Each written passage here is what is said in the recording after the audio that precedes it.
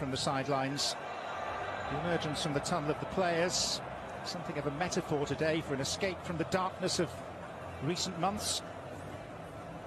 And accompanied by a collective sigh of relief that after so much doubt, a tournament that